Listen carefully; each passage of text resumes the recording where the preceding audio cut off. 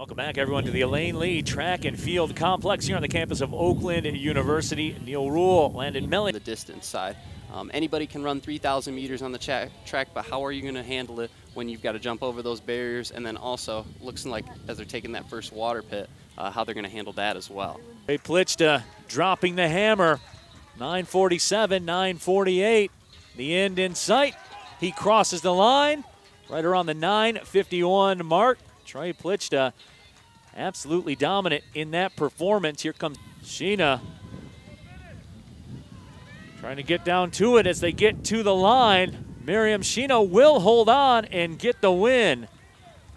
that was Ashley Quinn that see the look of pain on his face. They're feeling the effects of that wind here. Yami looks like he's going to hold on.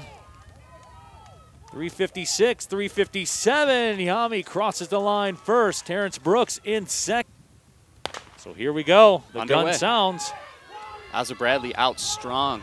Ozza Bradley making her move right now, as is Kyrie Jackson on the end. But Ozza Bradley, of course, will cross the line first. And with a strong move on the far side of the track. On the face of Marcus Nellum as he will take home the victory in the 400 meter hurdles.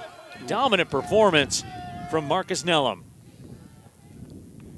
Jimmy Williams opening up an incredible lead here in the 400 meter dash. And William Harrell in second. Performance, will he get the win? Oh, of course. that might be a PR for Jimmy Williams. That is an imp. Brought some heat. Delboske, I believe, on the inside. Tested. Jimmy Williams again putting on a show. And he gets the win.